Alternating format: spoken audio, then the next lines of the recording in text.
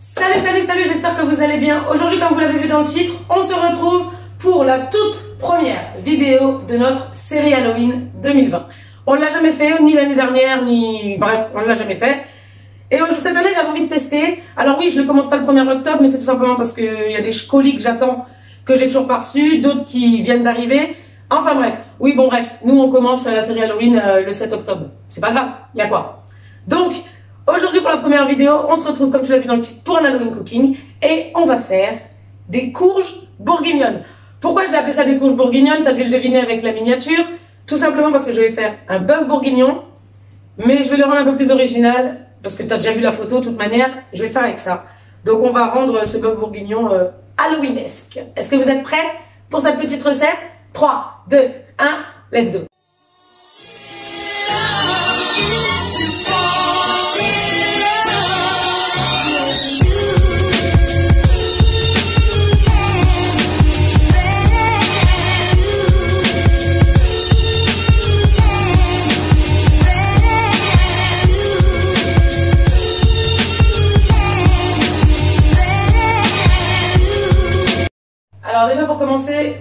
laver les courges. Bon moi je les ai déjà faites, hein, elles sont toutes déjà lavées. Ensuite, je vais venir couper, vous savez l'espèce de petit chapeau là. On va venir couper euh, juste ici pour retirer le petit chapeau. Alors, on va essayer de pas perdre un doigt les gars, ok?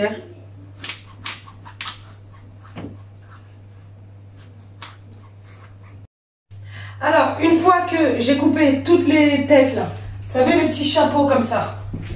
Oups du coup, je vais couper ça, parce que ça, du coup, ça va me servir à, à refermer et à faire la déco. Une fois qu'on a tout ouvert comme ça, tac, je vais venir retirer les graines.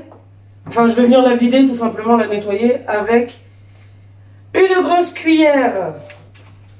Hop là. Alors les gars, je vous dis un truc, il va falloir y aller hein, pour le faire, parce que... C'est pas facile, facile. Alors, maintenant que j'ai tout retiré les petits chapeaux, j'ai vidé l'intérieur. Tout nickel comme ça. Et maintenant, on va aller les faire bouillir 10 minutes.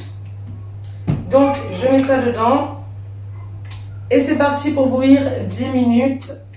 Et pendant que ça boue pendant 10 minutes, mon dieu, j'espère que j'aurai de la place pour toutes les mettre. Parce que sinon, c'est la catastrophe. Bon, du coup les gars, je vous ai approché un peu plus pour que vous voyez mieux ce que je suis en train de faire. Donc si vous ne me voyez pas moi, c'est pas très grave. Pendant que mes courges sont en train de bouillir, je vais m'occuper de, bah, de tout le reste. Je vais m'occuper du bourguignon, donc des carottes, des oignons, etc. etc. Donc, je vais commencer par couper mes oignons et euh, bah, couper tout ce qu'il faut couper. C'est parti, on commence par l'oignon. Ensuite, les carottes. Bon, du coup, ensuite, je vais m'occuper des girolles. Ouais, j'ai pris des petites girolles. J'ai voulu remplacer, j'ai pas voulu mettre des champignons de Paris. Du coup, j'ai remplacé par des petites girolles. Hop là. Je vais en prendre quelques-unes. Il me faut un autre couteau. Du coup, je vais préparer mes girolles. Hop, on coupe la queue et on gratte la tige.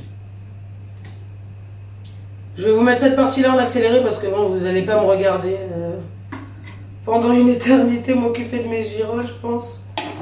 Il n'y a pas grand chose à faire.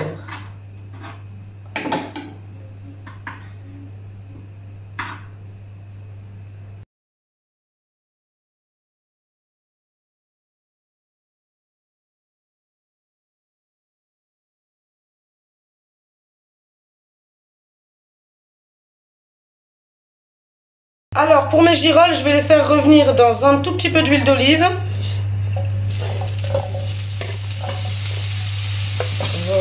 Je vais baisser un peu le feu par contre. Tac, du coup, je les fais revenir tranquillement. Il y en a une, elle essaye de fuguer, mais c'est mort. Et pendant ce temps-là, il y a les petites courges qui sont occupées. Pendant que les girolles ils sont en train de revenir un petit peu vite fait, je vais aller euh, m'occuper des... Comment ça s'appelle? Les patates, je vais les faire après. Parce que j'aime pas les faire. J'aime bien les faire à la dernière minute. Du coup, là, je vais regarder un peu ce que ça donne, les courges. Et comme ça, je vais pouvoir utiliser ma petite marmite là pour, euh, pour commencer à faire le gros du gros du repas quoi. Parce que je l'ai pas fait dans une, euh, dans une cocotte minute. Le bourguignon, je vais le faire dans une marmite comme ça.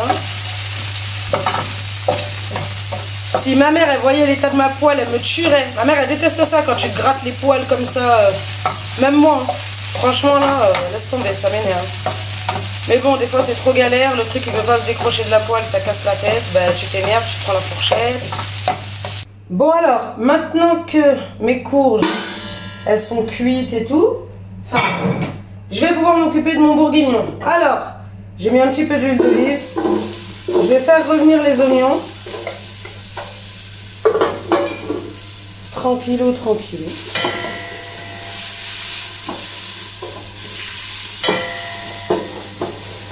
Et du coup, pendant qu'ils sont en train de...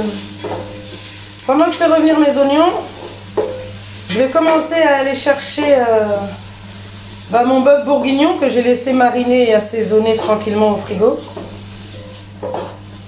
Pour pouvoir venir ensuite colorer la viande. J'espère vraiment que ça va sortir comme je l'ai dans ma tête, le truc. Bah, le bœuf bourguignon, ça encore, je m'en fous, ça je sais en faire et tout, il n'y a pas de problème. Mais euh, genre l'aspect que je veux que ça donne visuellement, j'espère vraiment que ça, que ça ressortira comme j'ai envie.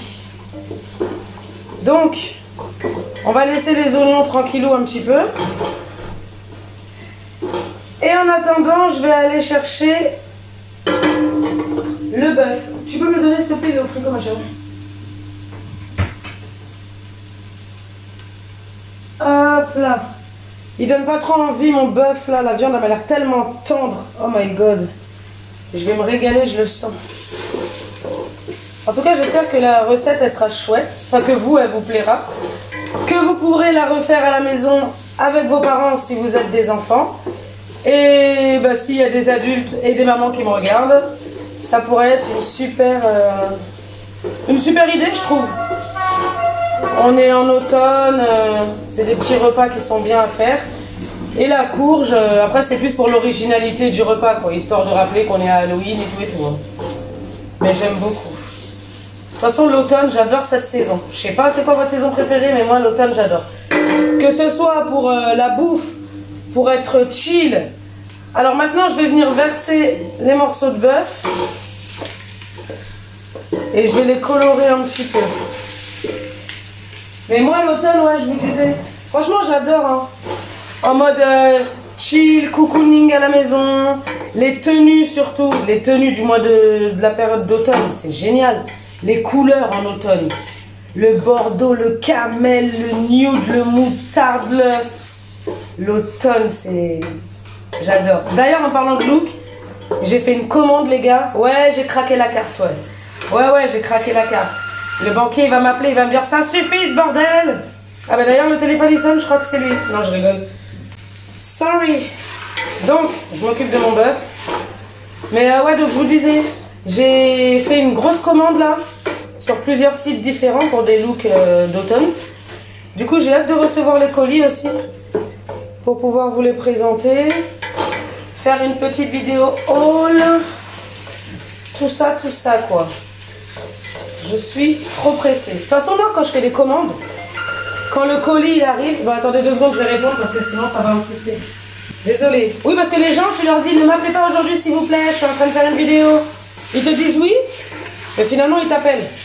Donc en fait, t'as pas compris que je t'ai dit que j'étais occupée. Hop là. Je sais pas si vous voyez bien mon. Ouais, vous voyez bien là, ça va. Les carottes, je vais les mettre après.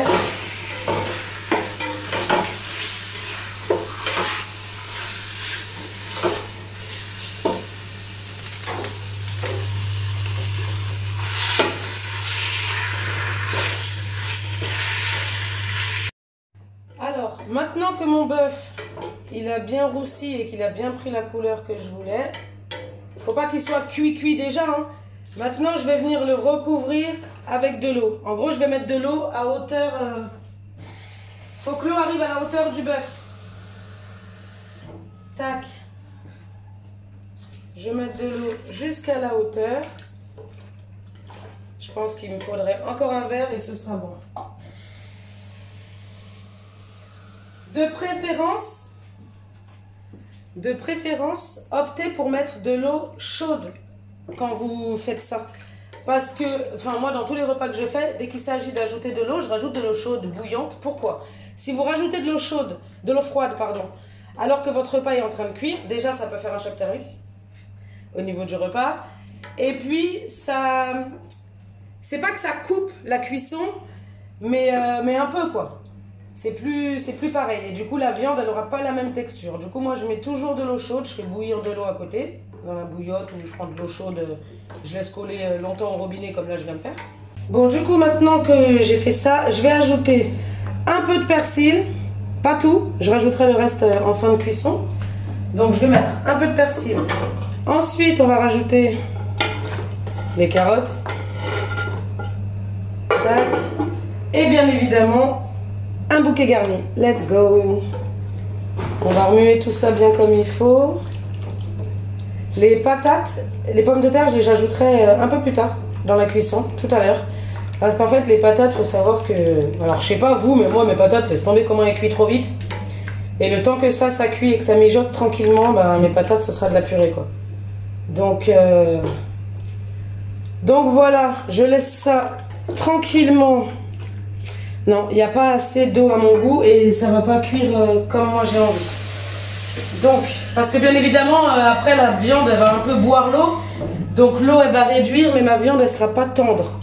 Et moi, je peux pas. Une viande pas tendre, c'est mort. Bien évidemment, on a déjà fait un petit peu quand j'ai assaisonné ma viande, mais l'assaisonnement, il n'y en a jamais assez. Après, faut pas mettre trop d'épices. Faut pas euh, trop d'épices, tu les épices aussi, parce que si c'est pour qu'après ça gâche le goût de ta bouffe et qu'on sente plus rien comme goût, euh, pas trop, pas trop. Un peu de ciboulette. J'en avais pas de fraîche aujourd'hui, franchement, je t'avais mais bon, bref. Voilà, voilou. Et eh, déjà, rien que là, les gars, ça sent déjà bien. Rien que là, j'ai faim déjà. Ça sent l'automne, ça sent. Oh my god, j'ai trop faim. Dites-moi si vous, ça vous arrive. Enfin, pour ceux qui cuisinent, hein, s'il y a des personnes adultes ou ados, bref Genre, vous cuisinez et tout, vous avez grave la dalle. Mais vu que c'est vous qui avez fait le repas, une fois que c'est l'heure de manger, vous avez plus faim. Ah, moi, tu sais que j'ai tellement senti, ça me fait souvent ça. Mais euh, moi, c'est pas grave, je graille quand même. Je mange quand même. Hop, bon. Là, la viande, elle est en train de me dire Tu veux pas me foutre la paix juste 5 minutes, s'il te plaît? Juste arrête de me tripoter et tout. Hop là. Je vais couvrir ça, mais je vais laisser juste une petite fente histoire que ça passe un peu. Désolé pour le bruit, c'est parce qu'il y a des trains qui passent à côté de chez moi. Donc voilà, voilà. Bon, ben du coup, je pense que pareil, hein, là on va se retrouver tout à l'heure parce que là, il faut laisser mijoter ça un petit peu avant d'ajouter. Euh, alors, il me manque à ajouter les patates, le l'ail. Qu'est-ce qu'il me manque à ajouter encore? Attendez, le vin rouge et le reste du persil. Donc, voilà, voilà. À toute allure. Bon, du coup, la cuisson, elle est terminée. Franchement, ça sent super, super bon. Alors, maintenant que j'ai terminé ça, je vais délicatement venir en prendre petit à petit. Et je vais aller le mettre dans la courge. Et du coup, si vous voulez, euh, bah, du coup, c'est dans la courge. La courge, elle vous servira de, ben, de plat, quoi.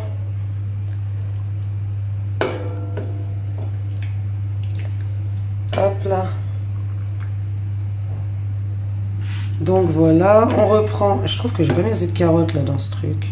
Ah, désolé pour la buée.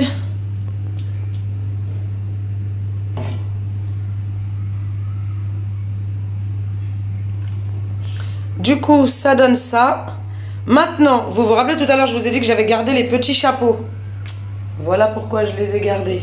Hop. Et du coup, on va pas fermer complètement. Alors attendez, je sais pas trop comment je vais le mettre. Je crois que je vais faire comme ça. Il tient pas. Mais c'est peut-être parce que c'est pas son chapeau. Ah, sinon je le laisse comme ça, je pense. Je sais pas trop. Bon, en tout cas, ça donne ça.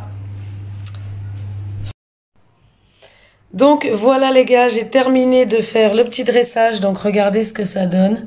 Et à l'intérieur, il y a le bœuf bourguignon. Donc voilà, en plus je l'ai mis autour de la petite déco qu'on a fait parce qu'on avait fait une petite déco automnale sur la table. Donc euh, voilà, voilà, je trouve que ça rend bien quand même. En tout cas, ça sent super bon et ça me donne très très très faim.